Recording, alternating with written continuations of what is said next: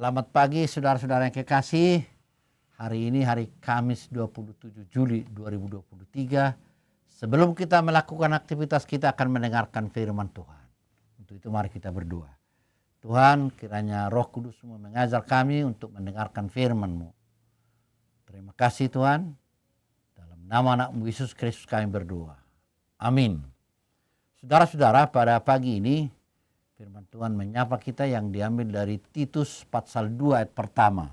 Tetapi engkau beritakanlah apa yang sesuai dengan ajaran yang sehat.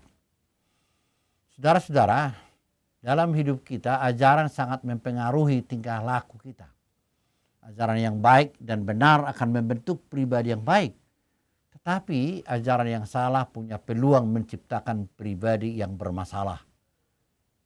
Titus sebagai murid Paulus dinasehati oleh Paulus agar memberitakan ajaran yang sehat saat pelayanannya di kereta.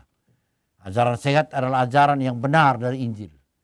Isinya baik dan berguna membuat orang percaya menjalani hidup kudus, menjadikan seseorang hidup berkenan kepada Tuhan. Ajaran sehat akan membuat Titus berbeda dengan para penyesat yang mengacaukan kehidupan jemaat.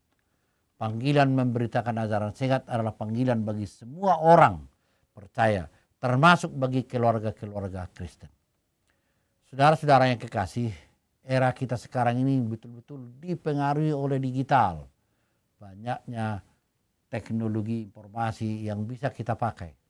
Namun saudara-saudara, kalau kita pakai semua alat-alat itu menjadi memberitakan sumber-sumber hoax maka kita membawa kekacauan dalam jemaat.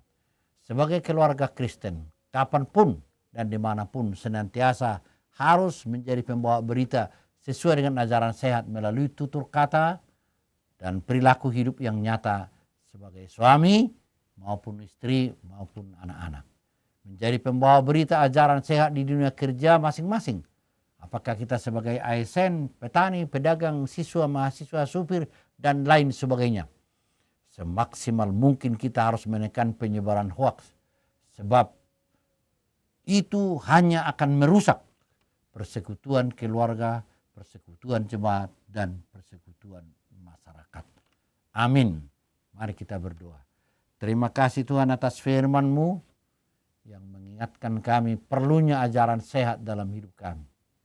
Di tengah kehidupan kami sekarang Tuhan bagaikan tsunami informasi yang luar biasa yang bisa membuat kami tidak tahu mana yang benar dan mana yang salah. Yang kami sering sebut hoak. Ajarlah kami Tuhan, berilah hikmat kepada kami. Supaya kami dapat mengenal mana ajaran sehat. Oleh karena itu kasihmu yang akan membimbing kami agar hidup kami selalu mengasihi tengah-tengah kehidupan kami ini. Terima kasih atas firman-Mu Tuhan. Saudara-saudara kami yang masih sakit, mohon Tuhan berikan kesembuhan oleh karena kuasa mujizatmu. Dengarlah doa kami Tuhan di dalam nama anak Yesus Kristus Juru Selamat kami. Anugerah Tuhan Yesus Kristus, kasih Allah Bapa dan persekutuan Roh Kudus menyertai saudara semuanya. Amin. Selamat berkarya, Tuhan memberkati. Salam dan doa, Pendeta Luhut P. Hutajulu.